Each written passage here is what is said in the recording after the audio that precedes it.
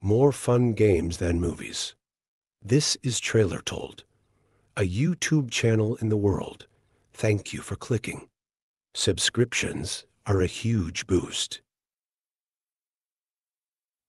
The fourth of the Fatui Harbingers, a formidable Snezhnayan diplomat and a ruthless assassin.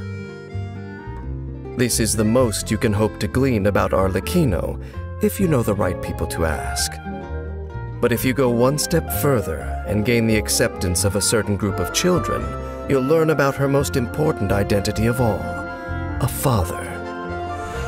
This will be a productive partnership, I hope. As an intelligence operative, Arlecchino prefers more covert means of attack.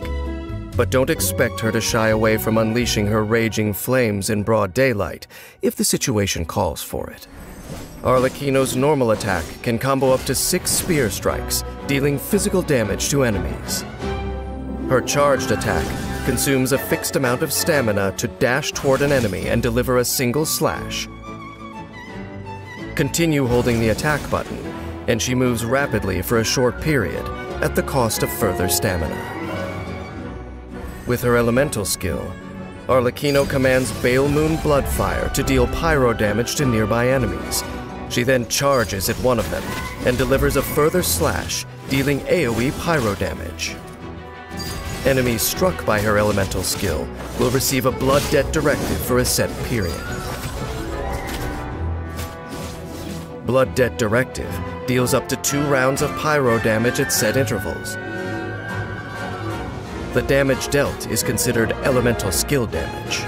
Using her charged attack, or elemental burst causes Arlecchino to absorb and clear nearby blood debt directives.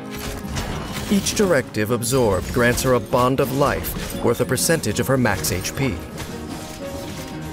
There is a limit to the total bond of life that can be gained in this way. If her elemental skill is used again within a certain time, the directive's duration is recalculated, as is the maximum bond of life that they can confer. The Crimson Moon bloodline etched into Arlecchino's life brings her pain, but also power.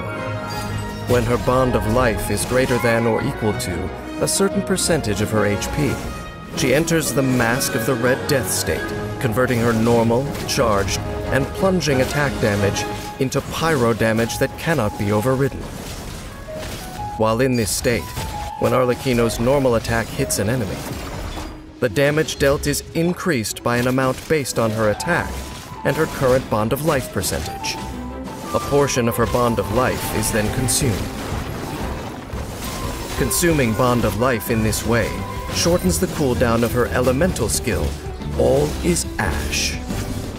After unlocking the talent Agony alone may be repaid, when Arlecchino's elemental skill applies a blood debt directive to an enemy, it is upgraded after a period of time to Blood Debt Due, which grants her more Bond of Life when absorbed.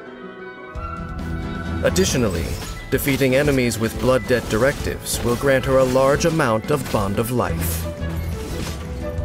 There is a limit to the total Bond of Life that can be gained in this way. This is where you fall.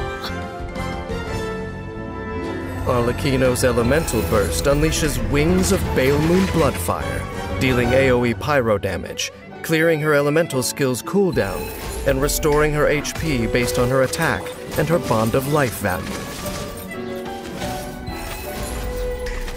Due to her passive talent, the Bale Moon alone may know. While in combat, Arlecchino gains a pyro damage bonus and can heal only by using her elemental burst, Bale Moon Rising.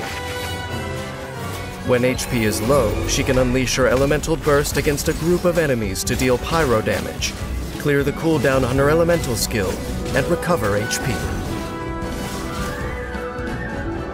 She is a father children can depend on.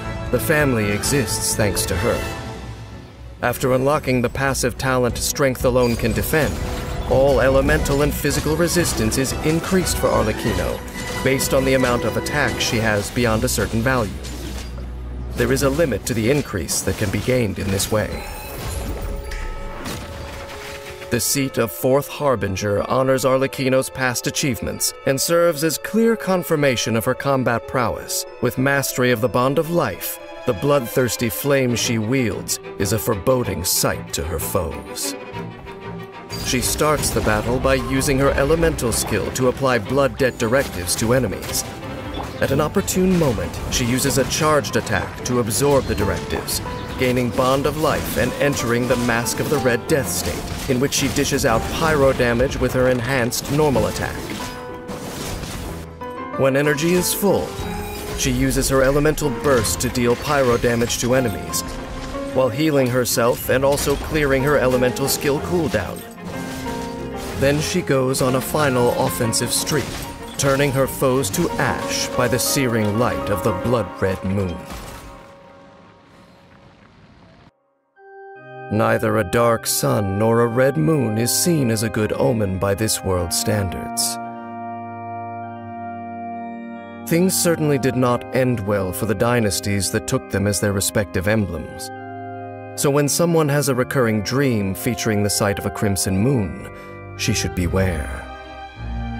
In my long journey, I have seen many fight to defy fate. Arlecchino is one of them and she seems to have succeeded.